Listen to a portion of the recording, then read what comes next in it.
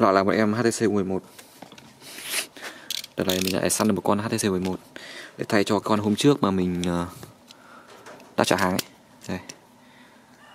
Con này hàng. Bản này bán màu đen, shop chỉ còn màu đen thôi nhưng mà Phân loại hàng mình đặt là màu trà, màu xanh. Cửa hàng bọc hàng kiểu này đúng không? Chối thật sự.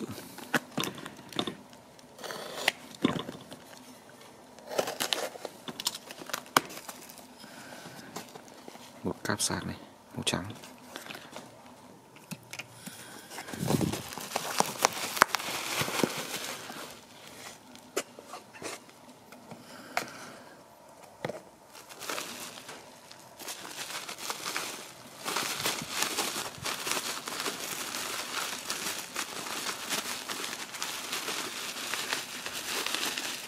À, nguyên zin.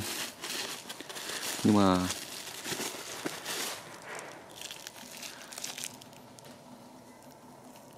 đùa nhau chứ, thì bỏ ra phát mình thấy cái cân chân sạc chán đời thật sự.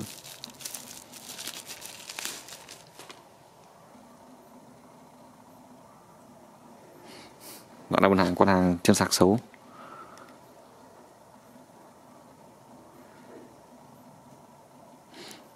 Đúng là cái hàng à,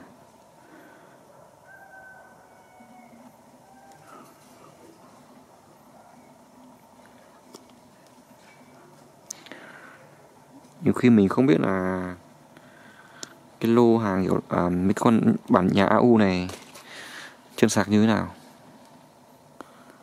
Và con nào cái giá tầm giá tầm 2 triệu 2, 2 triệu 3 con nào cũng xấu như này.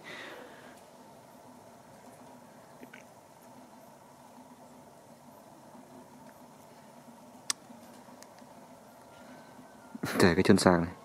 Con này còn đỡ hơn cái con hôm trước.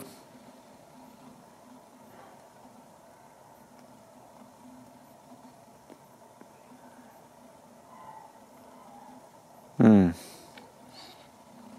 Đó hẳn sẵn lại sản sẵn mới cường lực. Không biết là mục đích dán cường lực này là gì, bởi vì cái có khe là cái mặt cương nó bị mặt kính con này nó bị xước.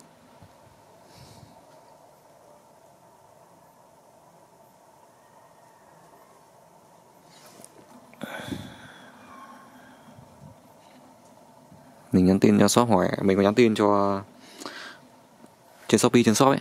Thì có hỏi là có bị chân sạc, có bị xấu không? Bộ nó đẹp lắm. Chúng ta hàng như này, chán đời.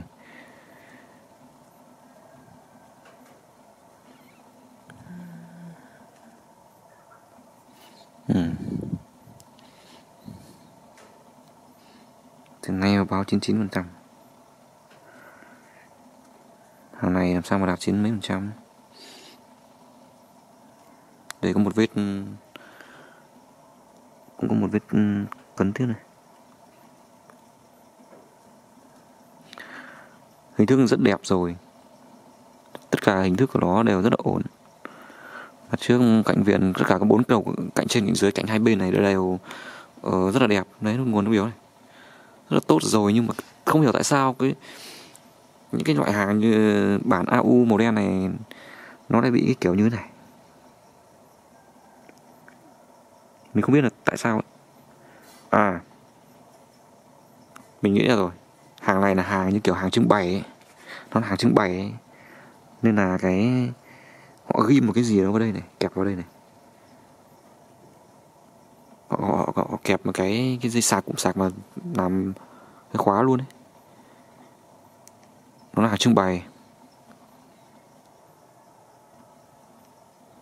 Nên là nó sẽ bị kiểu như này. Mình nghĩ chắc chắn là như vậy. Chân sạc xấu. Tại hại thật.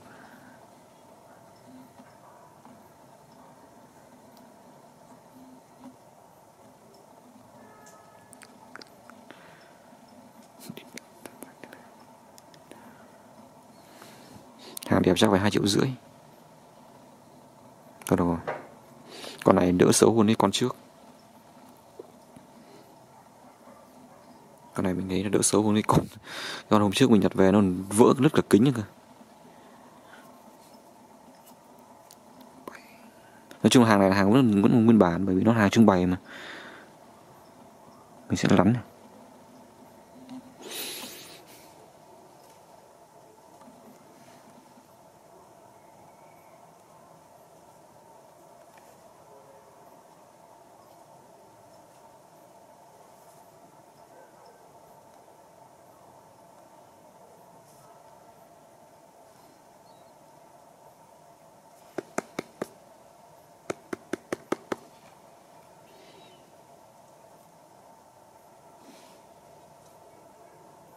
có thể cái mặt kính bên trong nó còn không cân.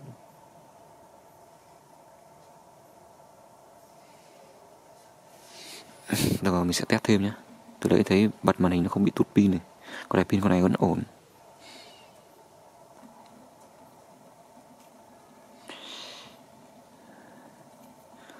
bốn sáu tư đã cấp đến hai chín. Kiểm tra màn hình xem nào, xem có cái vấn đề gì về hiển thị không. Nói chung là hàng chắc mình nghĩ là cái tầm giá này chắc chỉ được con hàng như này thôi.